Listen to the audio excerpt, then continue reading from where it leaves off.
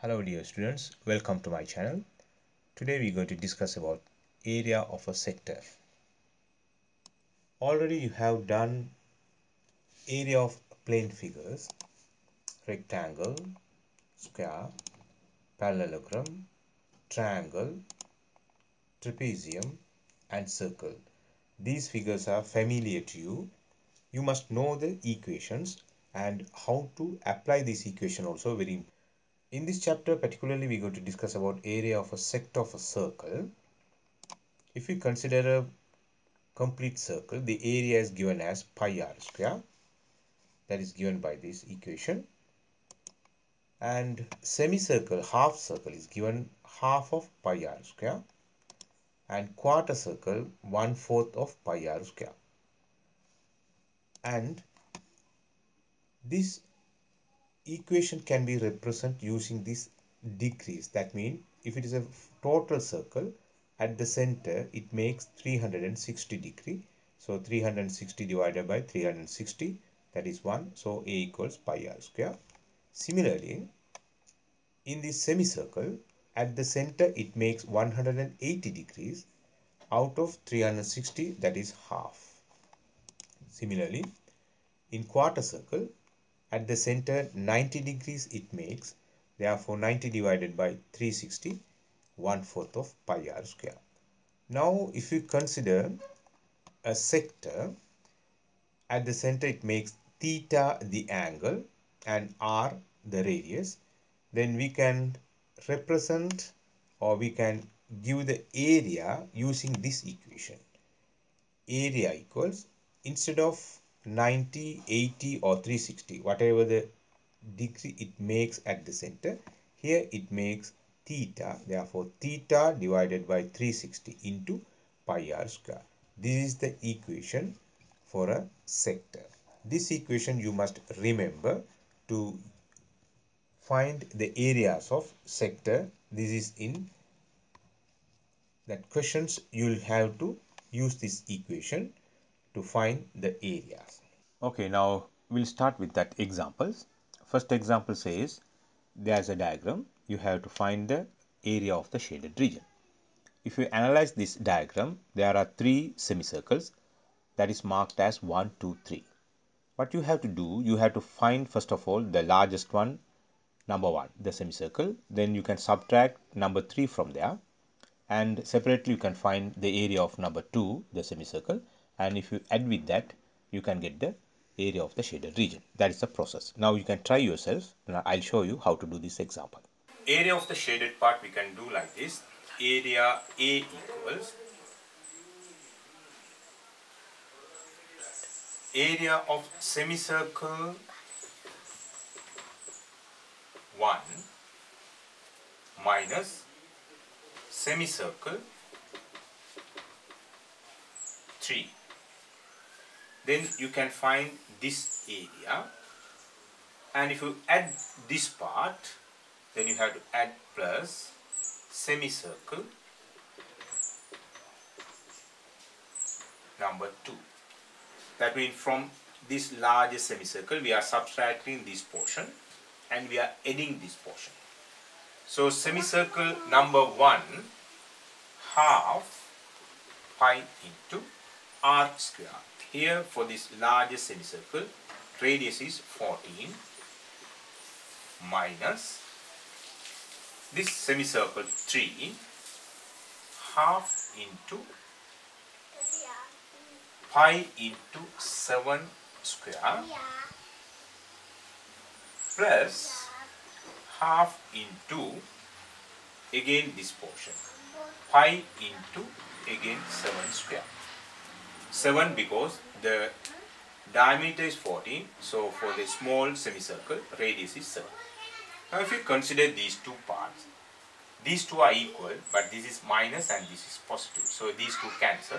So final answer we can get 22 upon 7 into 14 into 14 this part becomes 0 because these two are equal minus and positive plus so these two you can simplify 2 and this one also you can simplify. Finally, we are left with 22 into 14. Then finally, we are getting 308 centimeter square. Now we'll try example number 2. This diagram shows there are three semicircles. Number 1, 2, 3. Number 1 is the largest one with a radius of 7 centimeter. If you can find the area of 2 and 3 and subtract from the semicircle number 1, you can get the shaded region. That is what the answer we needed. So you can try yourself. Example number 2. Here they have given a larger semicircle, number 1, and they have subtracted number 2 and number 3, smaller two semicircles. But these two are equal semicircles. So you can consider as one circle, one complete circle you can consider or simply you can subtract twice also.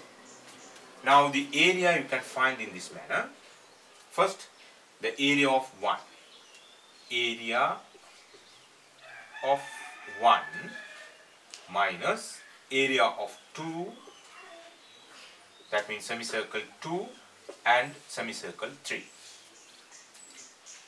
So semicircle 1, the larger one, half pi into radius is 7. So 7 square means twice we have to write minus again half into pi into the diameter is here 7 therefore radius means half. So 7 by 2 into 7 by 2 now I'm going to multiply this portion by 2 because these two semicircles are equal in area. Because 7 the diameter again this one also 7 therefore I can simply multiply by 2 I'm going to simplify this again half into 22 upon 7 into 7 7 into 7 minus this 2 into this half into 22 upon 7 into 7 by 2 again 7 by 2. Now we can simplify.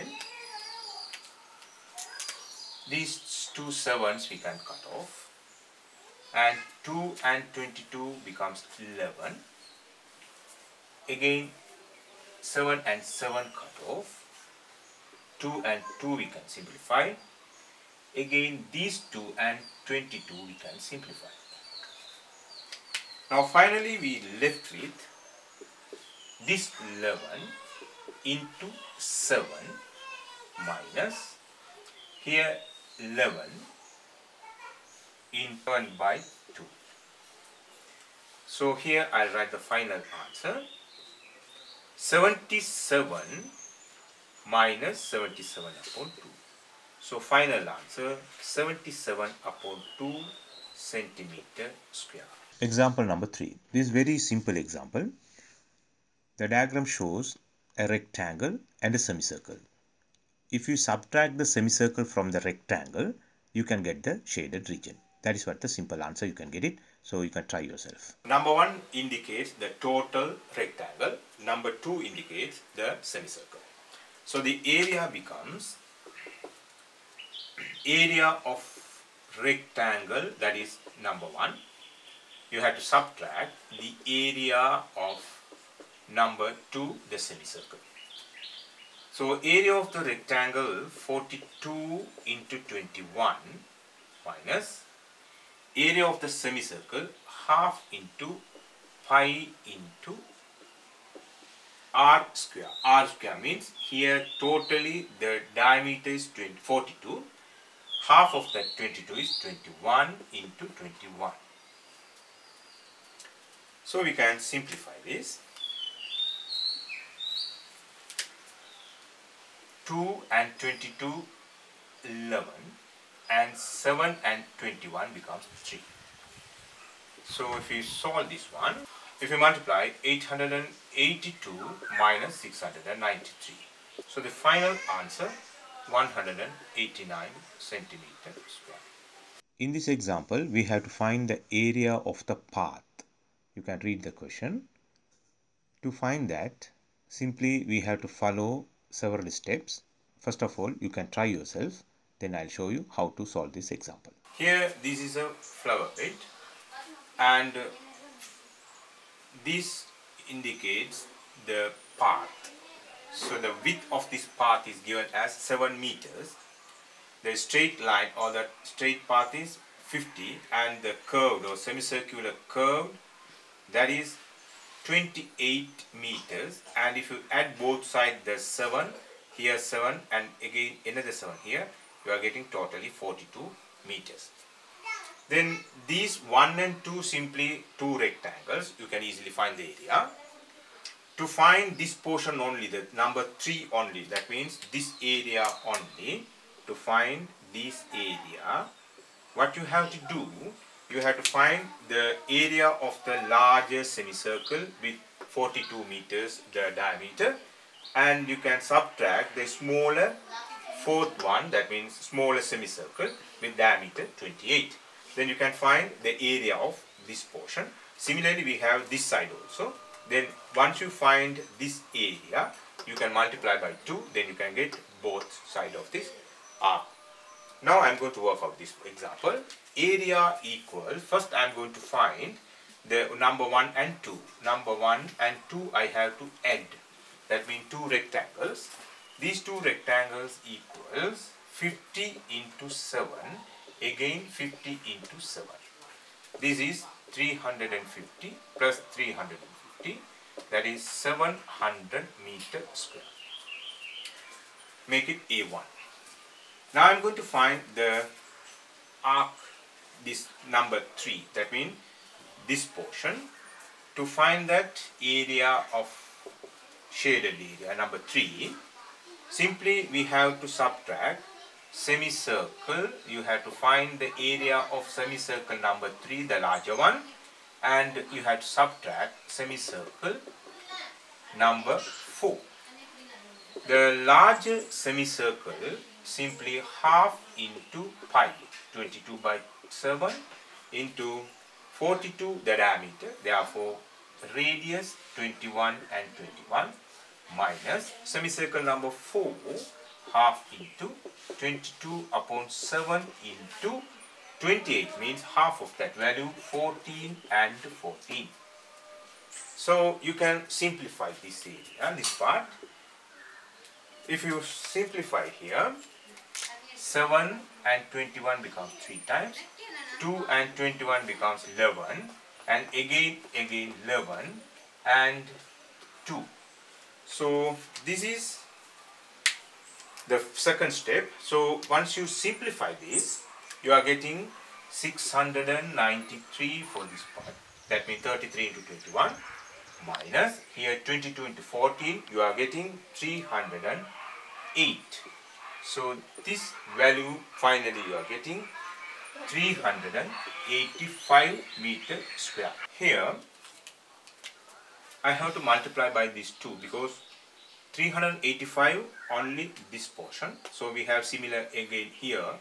Therefore, final area equals A1 that means 700 plus twice we have to find.